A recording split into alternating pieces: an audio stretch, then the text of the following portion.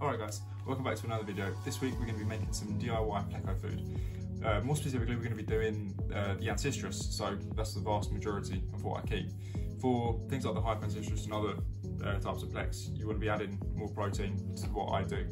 But I explain that throughout the video anyway. So hope you enjoy it and I'll see you at the end.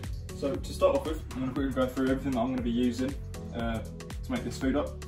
I've got a load of romaine lettuce. It's good stuff, don't need too much of it. Carrot. Don't know if I use a whole lot. Courgette, probably won't use all of that either. Probably do half a head of broccoli. Some uh, spinach. Uh, what else are we using? Spirulina granules and some spirulina flake as well. I will put a list of everything that I'm using. There's so many more things that you can also use. Um, this is a just a, small variety that you can use, but there will be a, there is a lot more.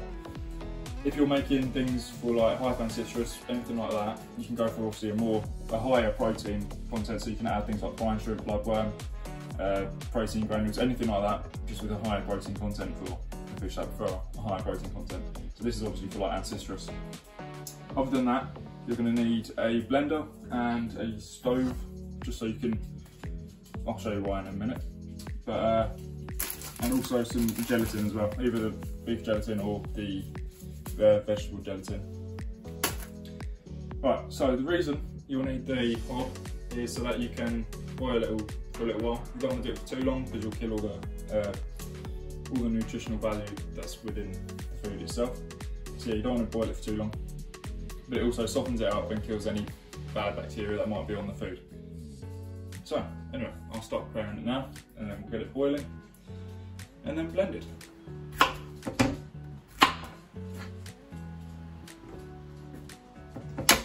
Forgot to mention one thing. With things like courgette, I don't know if it's true, but a lot of places will put like a wax layer on them to keep making them look fresh and last longer. Um, so I will be peeling this just to get rid of it, just in case it has got a wax layer or something like that. Um, but yeah, just a good tip.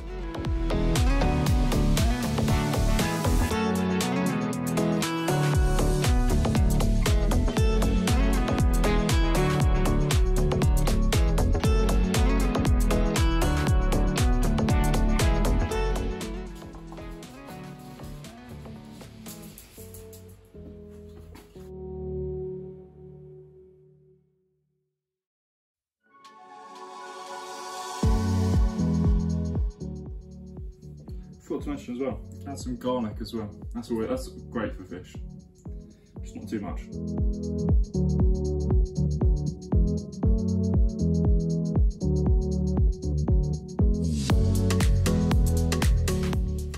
The other reason it's good to get it nice and hot beforehand is so that you don't have to, when you add the gelatin, it, it, it's ready to set straight away. You haven't got to heat it up beforehand and mix it and everything like that.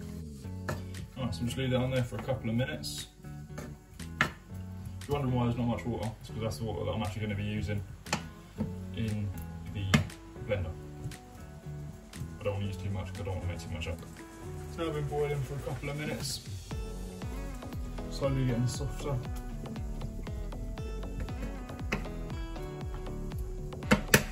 Oh, Blend it. Just going to add a fair bit nothing too crazy. Alright, you guys want us to listen to this, you can listen to the nice music that's playing in the background. Awesome. Do this.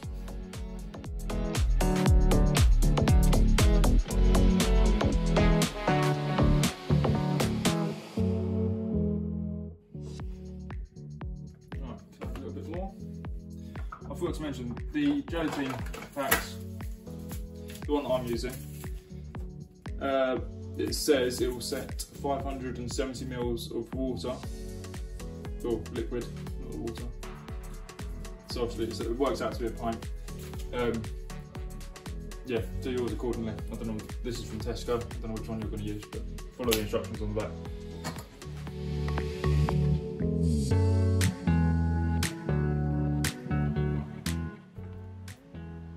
So that's just over, over the amount that I need, but that's okay, so I can make a slightly bigger batch with two lots of gelatin. I forgot to add the uh, spirulina granules and spirulina flakes as well, so I'll those now. But yeah, at this sort of point, you add your, if you're doing a higher protein one, you'll add your brine sugar, your bloodworm. Just make sure you don't worry too much about the blender. It's pretty grim.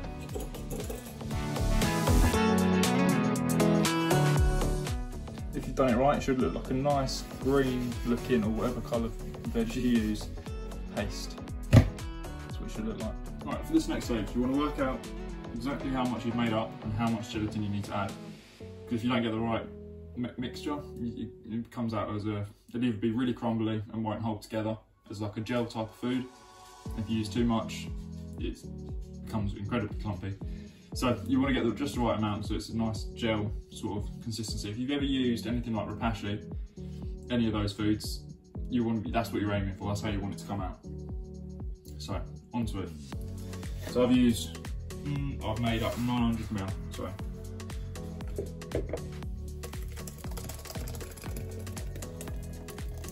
Sounds great. Yeah, so it's just under 900 mil, so I realistically want to use uh, one pack and a third of a pack the gelatin stuff.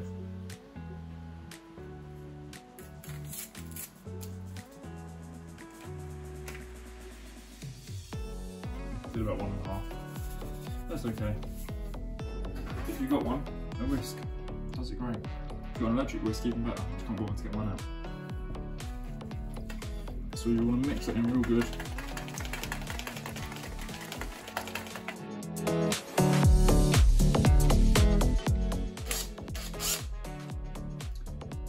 Much easier if you've got a drill. Once you've got it mixed, you want to put it into some sort of containers. It's entirely up to you what you use.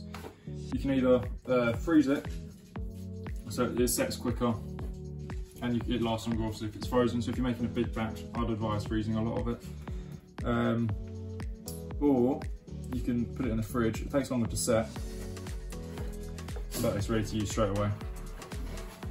I find that when you freeze it, it ends up floating.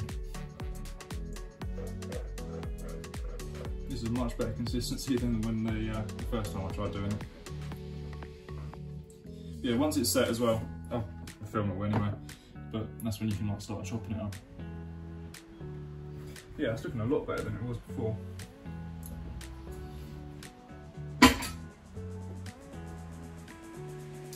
Right, anyway, see you once it's set. Alright guys, so this is it the day after. It was left overnight. It's turned nice and solid, as you expect. Doesn't fall out. So it's all good. Uh, the fridge was slightly colder than I thought it was going to be, and it did end up freezing just over the top. So I've been trying to defrost it back to its like normal gel form. But I did grab a knife quickly, and it is now pretty much ready. So all you want to do, slice it and dice it, make it into chunks as you would, if like used using Repashy or whatever. And yeah, so if we have a look, okay, apart from the bottom didn't quite go as well.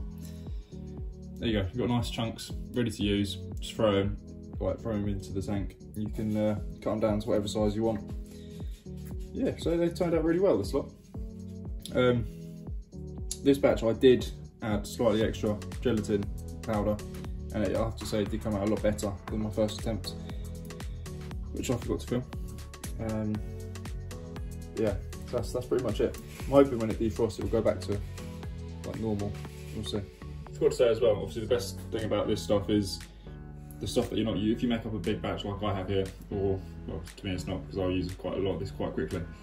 But if you do make loads up you can just freeze it and use it whenever you like. Um, can't guarantee the consistency will be the same as when you first made it, because it is great when you first make it. But we'll see. Anyway, I'm gonna go feed some of this to the fish, and uh, you'll see the results for yourself. They absolutely love it.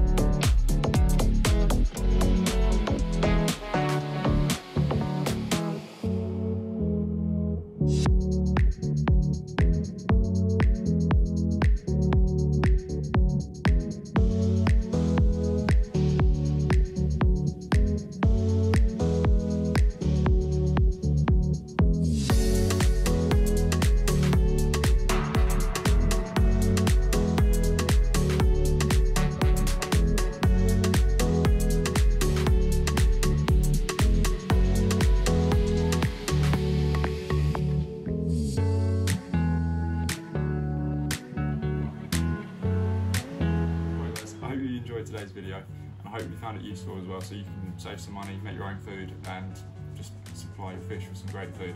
This is so so handy. Honestly, so handy to have such a good supply of food, and yeah, you don't haven't got to go anywhere special, just your local shop. Yeah, if you did enjoy today's video, like and subscribe as normal, and see you next time.